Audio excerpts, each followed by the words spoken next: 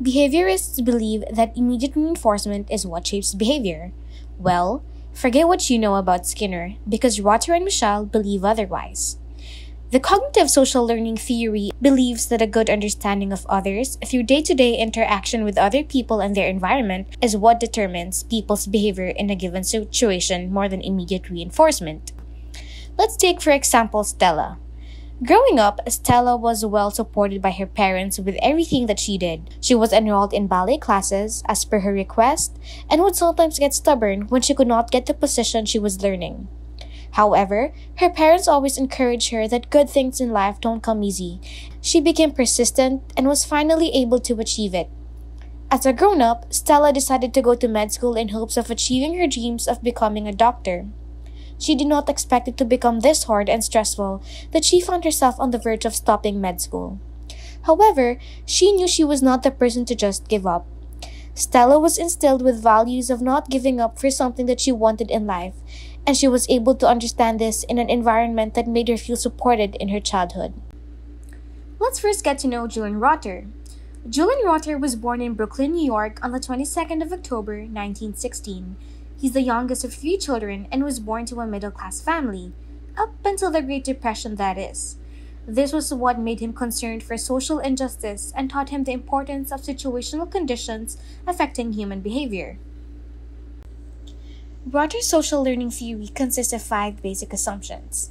Number one, humans interact with their meaningful environments. Number two, human personality is learned. Number three, personality has a basic unity. Number four, motivation is goal directed. And finally, number five, people are capable of anticipating events. Let's briefly discuss this one by one. Rotter's first assumption humans interact with their meaningful environment just means people's reactions to environmental stimuli depend on the meaning they attach to an event. Rotter's second assumption, human personality is learned, means that he believes personality is not determined by age. For as long as we are capable of taking in new experiences and learning, we are capable of changing and shaping our personality. The third assumption, personality has a basic unity, means that while personality isn't determined by age and can be changed, personality still has relative stability. The fourth assumption, motivation is goal directed, just means that in general, people behave in a way that brings them toward a goal they would like to achieve. An example of this is a college student taking on more units per term in an effort to graduate earlier than expected. And finally, the fifth assumption is that people are capable of anticipating events. They use their perceived movement in the direction of the anticipated event as a criterion for evaluating reinforcers. Let's take this example. A student's ultimate goal is to become a lawyer. To achieve this goal, the student knows they must finish high school, take up a pre law course in college, study for and take the PhilSat, get into law school, and finally pass their bar exam before they can become a lawyer. The main concern Rotter had was a prediction of human behavior. Therefore, he suggested four variables that must be analyzed in order to make accurate predictions about any specific situation. And these variables were behavioral potential, expectancy, reinforcement value, and psychological situation. Let's define these terms. Behavioral potential refers to the likelihood that a given behavior will occur in a particular situation. Let's take this example. In order for a student to receive good grades, one will practice a few potential behaviors such as studying or cheating. The likelihood of these behaviors occurring will either be 0%, 100%, or somewhere in between the two extremities. Expectancy is defined as a person's expectation that some specific reinforcement will occur in a given situation. It is formed based on past experiences. The more often a behavior has led to reinforcement in the past, the stronger the person's expectancy that the behavior will achieve that outcome now. There are two types of expectancies, which are generalized expectancies and specific expectancies. You were given the chance to intern for two big companies. Company A will pay you 5,000 pesos a week, while Company B will pay you 7,000 pesos a week. Which company would you choose? it is more likely that people would choose the salary of company B. This is what you call reinforcement value. It is preference a person attaches to any reinforcement when the probabilities for the occurrence of a number of different reinforcements are all equal. Rotter stated that each individual's experience with the environment is unique. Some people may interpret the same situation differently. It all depends on the individual's subjective understanding of the situation and environment they're in. This is what Rotter defined as a psychological situation. The formula BP is equal to F times E and RV was created by Rotter. BP refers to behavioral potential, which is a function of E, or expectancy, and RV, also known as reinforcement value. This formula can help you understand that if BP is high, then E and RV will be more likely high as well. If BP is low, then E and RV will be low as well. Therefore, a behavior will occur if an individual expects a reinforcement, making she or he value the reinforcement. Rotter believed that people strive for their success because of their generalized expectancy, where he suggested that both the situation and the individual contribute to the feelings and personal control. However, he observed that a lot of people don't really increase their feeling of personal control after experiencing success, and people don't lower their expectancies when faced with continuous failure. To assess people's internal and external control of reinforcement, Rotter developed the IE scale. This scale attempts to differentiate between the belief of people's own efforts versus external factors like environmental consequences. It indicates the degree to which people believe they're in control of their lives. Another generalized expectancy is the concept of interpersonal trust. Rotter defined interpersonal trust as quote unquote a generalized expectancy held by an individual that the word, promise, oral or written statement of another individual or group can be relied on. End of quote. He saw interpersonal trust as a belief in the words of others when there is no reason to doubt. Rotter developed the interpersonal trust scale in order to measure individuals' generalized expectancy of trust and distrust. Rotter's take on individuals with maladaptive behavior are characterized by unrealistic goals, inappropriate behaviors, inadequate skills, or they tend to have unreasonable low expectancies of being able to perform behaviors necessary for positive reinforcement. People who set their goals too high will have a hard time learning productive behaviors because their goals are out of range. Rotter suggested a problem solving approach to psychotherapy.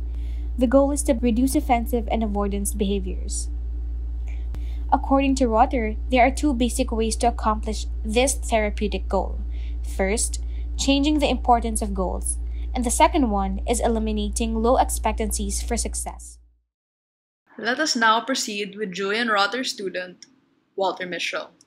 Walter Mischel was born on February 22, 1930, in Vienna, Austria. He is the second son of upper middle class parents. He grew up in a pleasant environment near Freud's home. Walter Mischel enrolled at Ohio State University in 1953 for his doctoral studies, and Julian Rotter was one of the most influential faculty members that he admired. Mischel is also an interactionist in that he believes that situation has a more powerful effect on how a person will behave. He called this the person situation interaction. If I am in this situation, then I do X. But if I am in that situation, then I do Y. This is because Mischel argues that traits are not essentially the best and only predictors of personality. Our behaviors, according to Mischel, are dependent in context. Example Here's a short clip from his interview at the 92nd Street Y Community Center.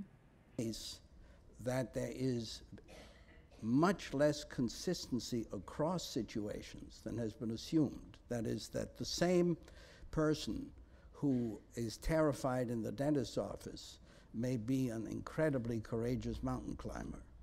That the same individual is a tremendous uh, entrepreneur and very, very uh, able to deal with complex decision with almost no nervousness, uh, can fall apart in social situations.